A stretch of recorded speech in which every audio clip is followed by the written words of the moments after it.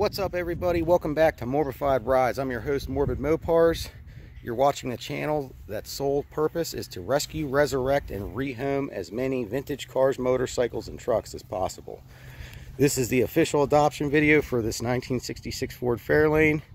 It is a 390 four-speed car, 4 9-inch rear. I've been told it's the original 392 barrel engine. This car does run and move and stop. Uh, pretty much every system on this car is going to need a little bit of attention. Uh, suspension is going to need some work. Electrical system is going to need some work. And the brake system is going to need pretty much completely overhauled with maybe the exception of the front drums. Uh, rear drums are shot. Um, the car has pretty much all the normal rust you would expect. It's got some there. You can't see it, but there's a little bit in the rockers underneath the trim. There's some here. This quarter is the worst spot on the whole car. The trunk extension's pretty much non-existent and been deleted by rust. Um, yeah, so there's all that. Let's get some patina shots on the hood. Look at that patina. Isn't it pretty? Some people hate this stuff. I like it. I think it tells the story of the car, so I'm going to show it. Let's get in the car and take a look.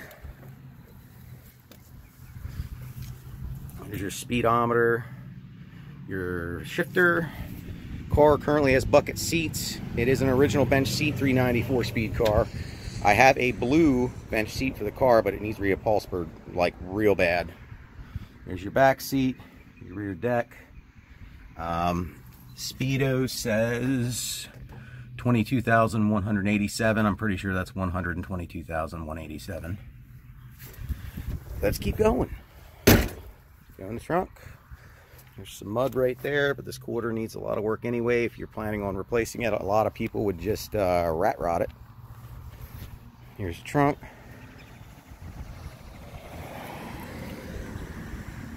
Look at that. Look at all the layers of paint. I think that's cool as shit. This quarter panel has a little bit of rust. It's not near as bad as the other side. It looks like it got whacked. And somebody started to do the metal repair for that quarter. Um, I think a good body man with some shrinking hammers and dollies and some heat could probably get that pretty close and uh, skim it and block it. It's going to take some hours though to do. Uh, there's a crease in the quarter panel right here. Um, I do have a dash pad that has no cracks in it that goes with the car. And let's get some more shots down here.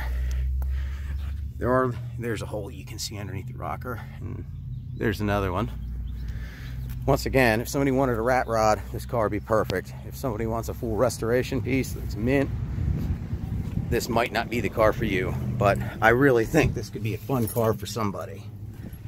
So I'm going to show you guys the trunk.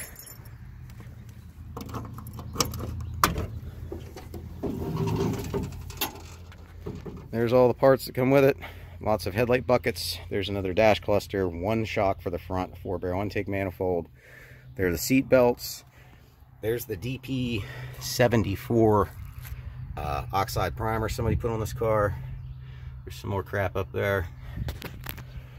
And I don't remember if I've already showed you under the hood or not. Let's uh, go look at that.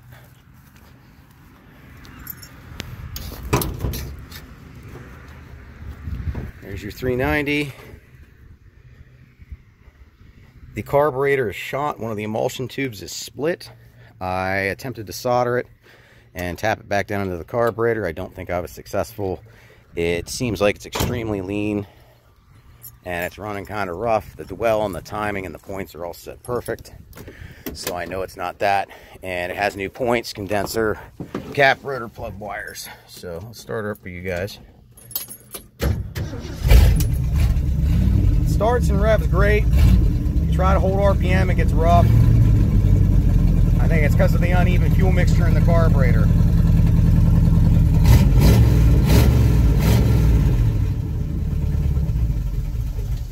Also, the radiator leaks, and we're running a boat gas tank. The boat gas tank is not included with the sale of the car, but it can be used up to the point of the car being loaded in whatever way the car is going to be hauled after the sale. Um,